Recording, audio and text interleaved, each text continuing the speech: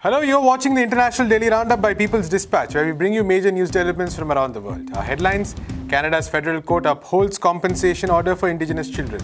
All charges dropped against three leaders of South Africa's Abahlali baseMjondolo. Death toll climbs in worst prison massacre in Ecuador. And hundreds protest suspension of Beirut blast inquiry in Lebanon. In our first story, Canada's federal court has upheld a landmark compensation order for indigenous children. The order was issued by a human rights tribunal in 2016 in retaliation to the welfare system. It found that the government allocated less funds for public services for indigenous peoples. The discrimination pushed more children from these communities into the foster system. Despite forming only 7.7% of Canada's population, indigenous children form 52% of the foster system. The tribunal ordered the government to give indigenous children affected by the system a compensation of $40,000 each. The children's parents and grandparents would also be eligible for compensation, except in cases such as abuse. The government of Justin Trudeau asked for a judicial review and a stay on the decision in 2019. The application was dismissed by Justice Paul Favel on September 29th. The ruling was issued a day before Canada set to observe its first National Day of Truth and Reconciliation. It aims to honor over 150,000 Indigenous children who were victims of the so-called residential schools. The abuse and torture carried out in the schools is considered a cultural genocide. Friday will also mark Orange Shirt Day, where people wear the color to honor victims and survivors. Cultural events have been organized in various areas, including a Remember Me walk to Parliament Hill. In our next story, all charges have been dropped against three leaders of South Africa's shack dwellers movement or Abahlali baseMjondolo. Linda Hule Nguni, Landu Shazi and Ayanda Ngila were released on September 29th. They were detained for six months at Westville Prison, facing charges for the murder of Vusi Shezi. ABM stated that their arrest was part of a crackdown on the movement's eKhenana occupation. It is operating as a working commune with a cooperative farm and a political school.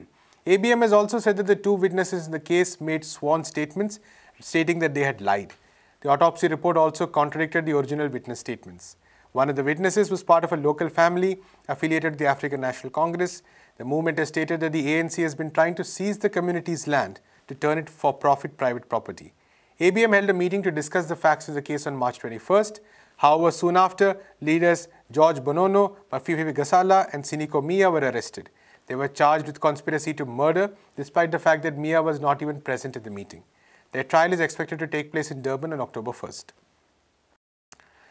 We now go to Ecuador, where at least 116 people have been killed in what is being called the worst prison violence in the country's history. Fighting broke out between rival gangs in the littoral prison in the city of Guayaquil. At least 80 other people have been injured. Authorities have stated that the fighting took place using firearms, explosives, and knives. President Guillermo Lasso has declared a state of emergency in the prison system for 60 days. Police, military, and national service for comprehensive attention to persons deprived of liberty and adolescent offenders have been mobilized. The massacre in Guayaquil took place two months after 27 people were killed in the same prison. 79 prisoners were also killed in February during simultaneous riots in three prisons. An expert told AFP that Ecuador has been witnessing a steady rise in prison killings since 2017. The system is also facing structural problems including overcrowding and corruption. 39,000 people are currently imprisoned while the system has a capacity of just 30,000. The former Lenin Moreno administration was also heavily criticized in February for failing to guarantee the right to life and the security of incarcerated people.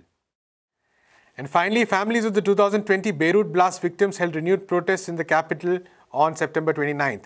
These followed the suspension of an inquiry into the explosion which killed at least 218 people. Former Interior Minister Nohad Machnouk filed a complaint against the investigating Judge Tarek Bitar.